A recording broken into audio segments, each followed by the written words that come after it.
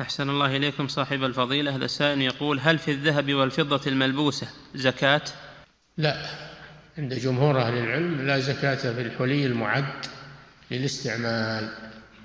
هذا مذهب جمهور أهل العلم. نعم.